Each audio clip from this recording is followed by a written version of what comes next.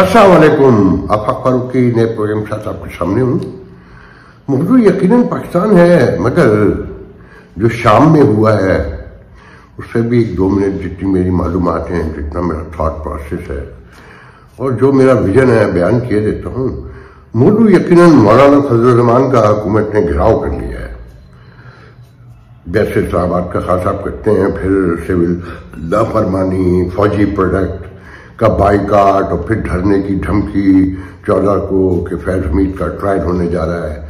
फिर अदालतों से आर्मी कोर्ट्स के खिलाफ हो आज जो फैसला है। और हुकूमत ने कबूल कर लिया कि महँगाई तो वो कंट्रोल नहीं कर सके। बहुत टाइम लगा। ये रियासत का मसला ये है कि झूठ पे खड़ी हुई है। जब तक हम सच नहीं बोलेंगे और यूनाइट नहीं होंगे और मुनजिम होकर काम करने की कोशिश नहीं करेंगे। किसी प्रॉस्पेरिटी का और किसी ग्रोथ का और किसी चीज़ डिसिप्लिन का पीस का कोई तस्वुर नहीं है। फिर खबारी से लड़ाई, रोज पैनिक की खबरें, ये सारे ही मौजूद हैं। और साथ में अभी अभी नैब के चेयरमैन ने कहीं तकरीर करते हुए कहा है कि सिर्फ़ एक साल में 12 लाख पाकिस्तानी मुल्क छोड़ के चले गए। एक साल में। तो यू कैन इमेजिन रोज ही बताते हैं कि पिछहत्तर हज़ार से ज़्यादा तो पासपोर्ट डेली बनते हैं। देखिए, शाम जो है ना, ये जो ईरान ने रशिया के बहकावे में आके या अपने तौर पर हमास को इसराइल में को अंदर किया पाँच अक्टूबर 2023 को, सोचा नहीं था उन्होंने शायद कि इसके कॉन्सिक्वेंसेस क्या क्या होंगे। उसकी सारी प्रॉक्सीज कमज़ोर हो गई, हमास भी और हजबुल्ला भी शाम भी हाथ से निकल गया। पचपन साल का इकतदार बिशार क्या बशर क्या नाम उनका? बिशारुल असद, उनका वाले और भागना पड़ा, जैसे शाह ईरान को को भागना पड़ा था कभी। और वो रूस जाके रुके, और बीच में खबरें हैं कि जी शायद वो मारे भी गए। मेरे पास वीडियो भी है कि महल में कैसे लूटमार हो रही है, कैसे उनकी तस्वीरों पे लोग जूते मार रहे हैं और उछल रहे हैं, कूद रहे हैं। नुकसान ईरान का हुआ और फलस्तीनियों का हुआ, लबनान का हुआ कि हज़ारों लोग मारे गए, हज़ारों गायब हैं, लाखों जख्मी हैं। और जो सबसे बड़ा नुकसान हुआ कि गोलान की पहाड़ियों पर, जिस पर हक भी नहीं था इसराइल का, जो शाम के आसपास थी, उन सब पे कब्जा कर लिया कि वो शाम की फौजें चली गई थी। तो उसने कहा कि जी, हमने अपनी फौजें लगा दी। तो जो ग्रेटर इसराइल है, उसका जो थॉट है ड्रीम है, ये इस खत्े के लोग खुद ही पूरा करके दे देंगे, जो मुझे लगता है। आने वाले दिन क्या होंगे? वहाँ और कितनी लड़ाई होंगी? जो लीड कर रहे हैं वो अलकायदा के सबक रहनुमा बताए जाते हैं। दाइश का खतरा भी है और अमेरिका ने यह भी कह दिया है कि वहाँ केमिकल हथियार भी हैं जिन पर हमारी नज़र है और हम जायजा ले रहे हैं। और अपनी फौजें भी मशरकी शुमाल में रखी हुई हैं कि हम उन्हें वहाँ से मूव नहीं करेंगे। ठीक बड़ा खेल है। आने वालों में देखते जाइए कि क्या क्या तब्दीलियाँ आएँगी। और अब मैं सारी चीज़ों को जोड़ के यहाँ से भी देखता हूँ कि जो सिविल नाफरमानी है, फौजी प्रोडक्ट का बाइकाट है। मैं उसके हक में नहीं हूँ बाई द ये ध्यान में रखिएगा कि फौजियों को ये काम नहीं होता है। मगर एक तरफ़ इमरान खान ये कहते हैं कि जी, हम फौज के खिलाफ नहीं, उनकी पार्टी भी बड़ी परेशान रहती है कि हम फौज के खिलाफ नहीं, और मगर पूरी मुहिम चल रही है कि फौजी प्रोडक्ट का बाइकाट किया जाए। मगर क्या सादा लोग हैं। उसी तार के लोने से फिर दवा लेंगे मगर बेवकूफ़ियाँ नहीं छोड़ेंगे। दो सौ से ज़्यादा कंपनियाँ चलाते हैं कि वो कहते हैं ना, और तुम उनकी किस किस नेमत से इनकार करोगे? किस किस चीज़ का बाइकाट करोगे? केपी के एक बार का दस बार तो बड़ी दूर की बात है, या कोनूर का मक्खन मुझे नहीं पता, नाम सही है कि नहीं। और ट्रोलर लगे हुए हैं कि जी हमने पचासी फ़ीसद फलानी को कम कर दिया, और उसकी खरीदारी को और फलानी की बीस फ़ीसद, और फलानी की चालीस फ़ीसद। बेवकूफ़ी की बातें हैं। इस सियासत को आप अपने हाथों से कमज़ोर कर रहे हैं, करते रहिए। जो उन्होंने तय कर रखा है, फतह उन्हीं की होगी और ये बात तय है कि चलाएँगे तो वही चलाएँगे, वरना उन्हें मिसाकी पाकिस्तान को मैसेज दिया था ना कि यार उनसे कहो अलग हो जाए। अयूब खान ने अपने वज़ीर कानून के ज़रिए जो मुझे याद है कि उनसे कहे, यार अलग हो जाए, हम उनके साथ नहीं रहना चाहते। तो जब सारे सिनेरियो को दुनिया के जोड़ के देखें ना तो खौफ से दिल बहल जाता है और फिर खबारिश से रोज लड़ाई कि रोज मुकाबला, शदीद फायरिंग और जो ऐसा लगता है जिससे एक मुनजिम फौज से जंग हो रही है। और फिर कराची में और आसपास के इलाकों में कि रेंजर की घर घर तलाशी और इतने गिरफ़्तार, रियासत को भी समझना चाहिए, इससे पैनिक फैलता है।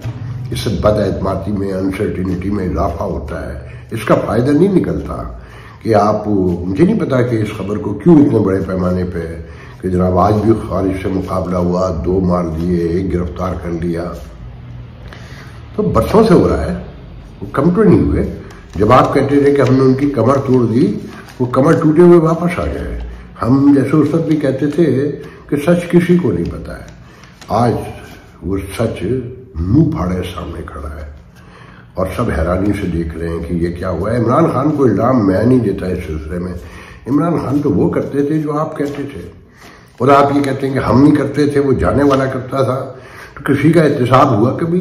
कभी किसी से पूछा कि तुमने क्या, क्यों किया? कोई जजीरा बना लेता है और कोई बेल्जियम में महल बना लेता है। कोई यहाँ रहता भी नहीं है, सब दौलत भी ले जाते हैं। इन खबरों से कुछ नहीं होगा कि अफराद जो मनी ट्रांजेक्शन है, जो ओवरसीज भेजते हैं उसमें थर्टी थ्री परसेंट इजाफा हो गया है। पाँच महीने में रिकॉर्ड आमदन हुई है और पैसे भेजे गए हैं और चौदह अरब डॉलर आ गए हैं। बत्तीस अरब हो जाएँगे तीस अरब से। मगर महँगी कितना नहाएगी, कितना नचोड़ेगी एक बाल्टी पानी में? तो ये सारी चीज़ें जहन में रखें। और फिर सबसे खौफनाक बात यह है कि ये जो मदारस का बिल है जिस पे आपने मौलाना फजलमान को फाइनली घेर लिया, आपने सरकारी मौलवी को अलग कर दिया, उनसे धमकियाँ दिलवा दी आज कि इस्लामाबाद के अराउंड में तीस हज़ार बंदे तो हम लेकर आ सकते हैं, इतने मदरसे यहाँ पर भी मौजूद हैं। चलो, ये तो पता चला कि हर तरफ़ से मुहासरे में है हम। इन मौलवियों के मुकम्मल मुहासरे में आप। आसिलदारी बिल पे कैसे साइन कर दें? ये अलग बहस है कि पहले तो ये पूछा जाए कि ये बिल मंजूरी क्या क्यों हुआ? वो मजबूरियाँ, वो ज़रूरतें, वो तकादे वो लालच बताया जाए। लालच क्या है इकतदार का? कि जनाब इमरान ना आ जाए, फलाना ना आ जाए, हम प्रिवेल करें। सिंध में पाँच सौ से ज़्यादा मदरसे मौलाना फजल रहमान के। और लदारी साहब की वजह से है, मुझे खूब याद है 2002 के इलेक्शन के फौरी बाद बेनजीर भुट्टो का मैंने ये कायम ये जो मुराद अली शाह साहब हैं, इनके भाई के घर जो वर्ल्ड बैंक में काम करते हैं, वहाँ इंटरव्यू किया था। तो मैंने कहा था कि सुना है कि आप मौलाना फजलमान के साथ हुकूमत बनाने जा रही तो कहने की आप लोग समझती क्यों नहीं हम उनके साथ कैसे हुकूमत बना सकते हैं? स्वाप कर सकते हैं? लोअर दो। मतलब उनसे तो हमारे बड़े तादाद हैं। नजरियाती फिलोसफिकल थाट हमारा इंटायरली डिफरेंट है, उनका बिल्कुल डिफरेंट है मदारस से लेके कोई एजुकेशन खातन और सो मैनी थिंग्स जो सोशो पोलिटिकल और रिलीजियस पॉइंट ऑफ़ व्यू देखें तो हम उनके साथ कैसे हुकूमत बना स्वाप कर देंगे। तो वो भी स्वाप करती रही।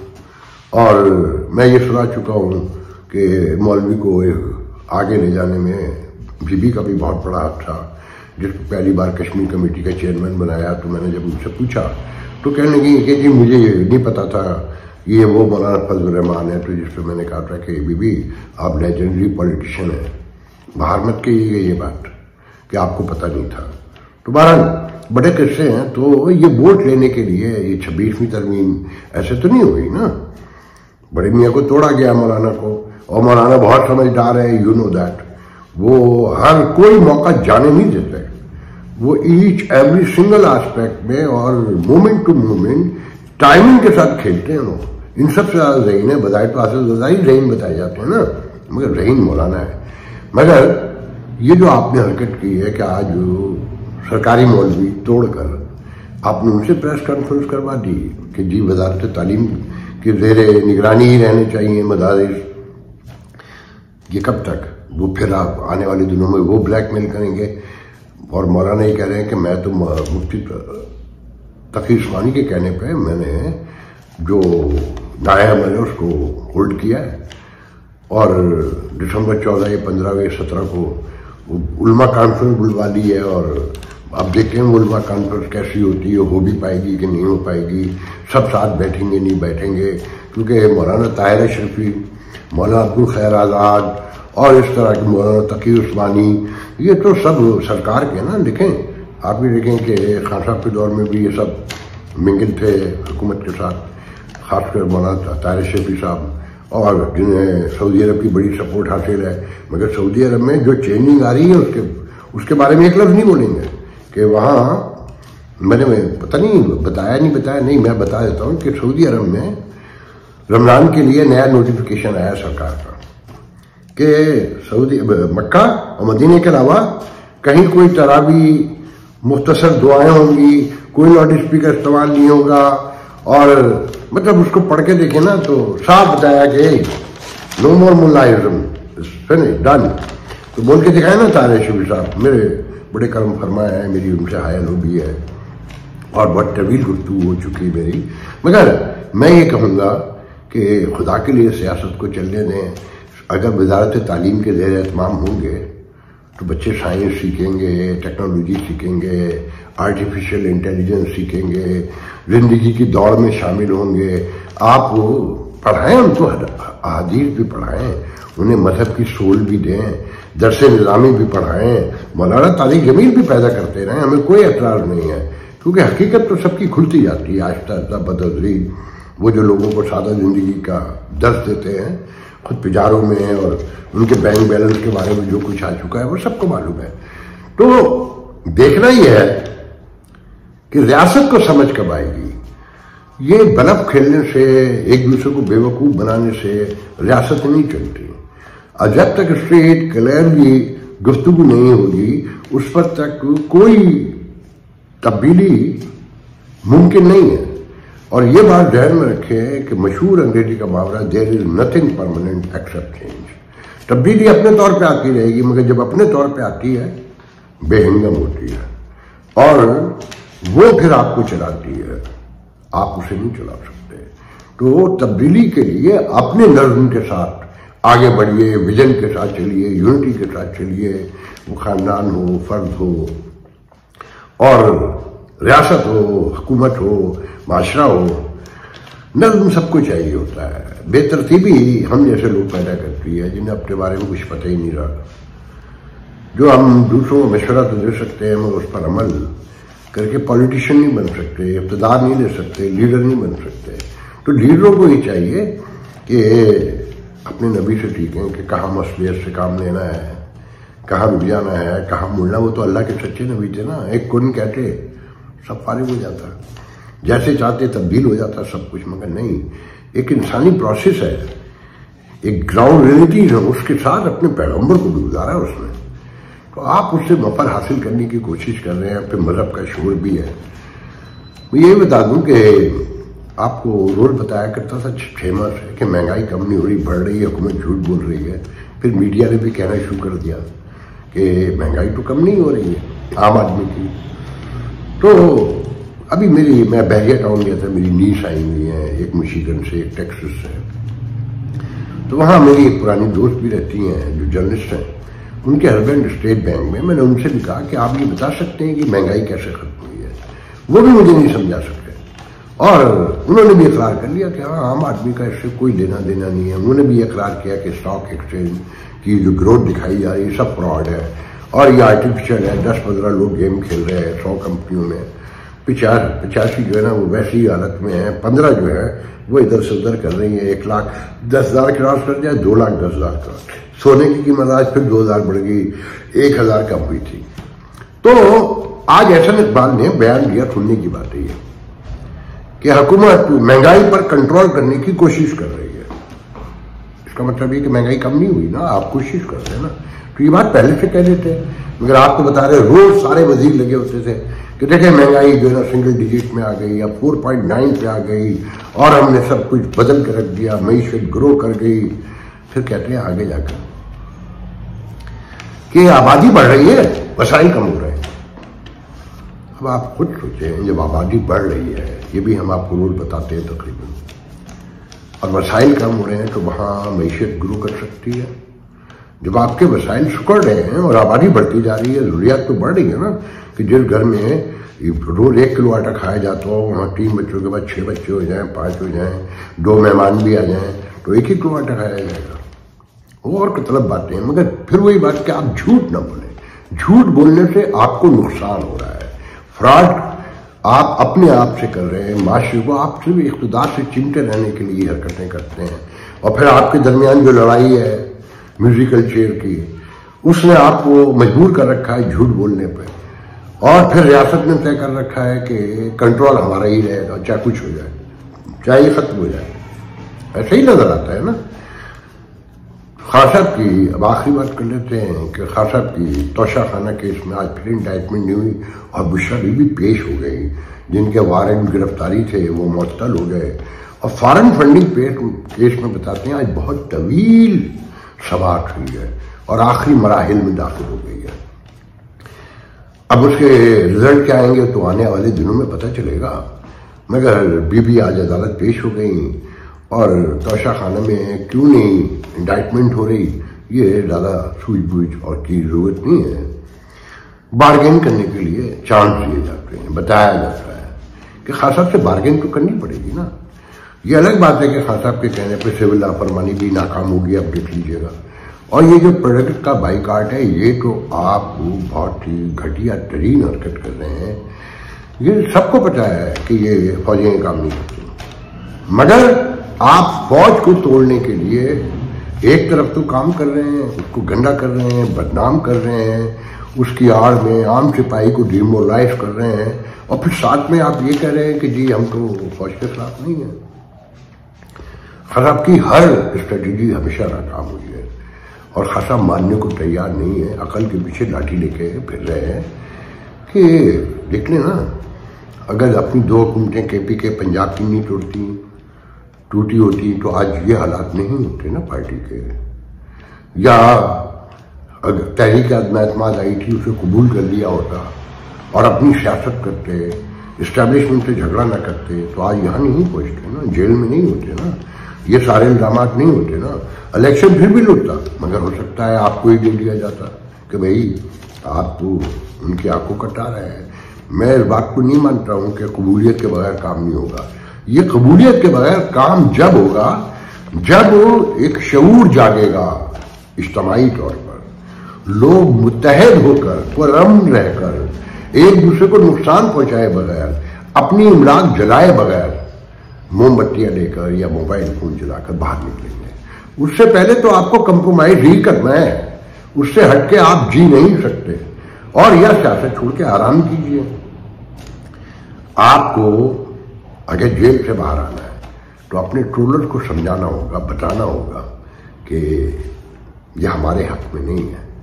अगला इलेक्शन तक आप देख लीजिएगा। आपके साथ फिर यही होगा। और जो आप कर चुके हैं, जिस अंदाज से कर चुके हैं, जो आप पे इल्ज़ाम हैं, हम जैसे लोग अगर आपसे सुलह भी हो जाए, हम उंगली उठाते रहेंगे। हम बताते रहेंगे कि आपने जराइम का इरतकाब किया है। आपने रास्ते ही नहीं रोके, आपने हमले भी किए हैं, सबको पता है ना। रियासत तो इल्ज़ाम लगा के दीवार से लग गई है कि वो किसी को पकड़ नहीं सकती। बुशरा बीबी आ गई, दस मुकदमा, बीस जो भी बने तीस सब पे जबान की हो अली हम गंडापुर, आज भी चिल्ला रहा था। पूरा सूबा बर्बाद पड़ा हुआ है। कोई जिट नहीं है वहाँ हुकूमत की। वहाँ जुत्थे आज़ाद फिर रहे हैं और खारिश से लड़ाई भी हो रही है। तो ऐसी रोशनी में सारा कुछ देख लें कि आने वाले दिन कैसे होंगे। मैं तो आखिर में सिर्फ़ ये कहूँगा कि अगर सियासी पार्टियों ने इस मुल्क को वाकई चलने देना है जो मुझे शुभ है कि शायद कुछ सियासी पार्टियाँ भी हैं, वो कहती हैं कि ये मामला अब नाइसली निपट जाए। और उन्होंने भी कहीं तय कर लिया, क्योंकि ऐसा नहीं हो सकता कि आम आदमी समझता है, जो बैठता है, वो बेहतरीन डिसीज़न सजेशन लेकर आता है उसका हल बताता है। मगर रियासत को समझ में नहीं आ रहा और इस हुकूमत को समझ में नहीं आ रहा और इन सियासी पार्टियों को समझ में नहीं आ रहा। तो बहरहाल, आज के लिए इजाज़त दीजिए, दुआ कीजिए।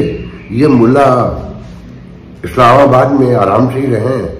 मौलाना फजलरहमान भी, सरकारी मौलवी भी, कि इनकी तकसीम से मजीद नुकसान पहुंचेगा रियासत को। मैं ये बता दूँ आपको, और बहुत खुल के बता रहा हूँ कि इनकी तकसीम से रियासत को नुकसान भी पहुंचेगा अंदर से कोई मुतमिन नहीं है कोई अपनी जरूरतों तकाजों के तहत और इसका फायदा वो उठाएंगे जिन्हें आप खवारिज कह रहे हैं इसकी आड़ में बहुत बड़ी बेचैनी फैलेगी जो पहले से मौजूद है आज के लिए जाए इंशाल्लाह कल गुफ्तगू ਹੋ ਨਹੀਂ ਜਾਂਦਾ ਕਰਨਾ ਪੈਂਦਾ ਹੈ ਹੋ ਨਹੀਂ ਜਾਂਦਾ ਕਰਨਾ ਪੈਂਦਾ ਜੀਵਨ ਦੇ ਲਈ ਮਰਨਾ ਪੈਂਦਾ ਹੈ। खून की बीमारियों में मुब्तला ज़िंदगी के लिए तरसते हुए थैलेसीमिया हीमोफीलिया और ब्लड कैंसर के मरीज़ मुन्नू भाई के बाद अब आपकी शफकत चाहते हैं। उन्होंने मुल्क के लिए बहुत कुछ किया। आइए हम भी उनकी सुंदर फाउंडेशन के लिए कुछ करें। मोनू भाई के मिशन को आगे बढ़ाएँ। तो फिर आए आप भी अपनी जक़ात अतियात सुंदस फाउंडेशन को देकर बचाइए किसी बच्चे की जान। ये अली है। अली को थैलेसीमिया है। आज उसे अपनी सालगिरह पर ब्लड ट्रांसफ्यूजन के लिए आना पड़ा। संदस फाउंडेशन गुजश्ता कई सालों से थैलेसीमिया के शिकार, हज़ारों बच्चों की ज़िंदगी में उम्मीद और खुशियों के रंग बिखेर रहा है। भी आप अपनी खैरात, जक़ात और अतियात सुंदस फाउंडेशन को भिजवाकर इन बच्चों की ज़िंदगी के टिमटिमाते चिरागों को रोशन रखें।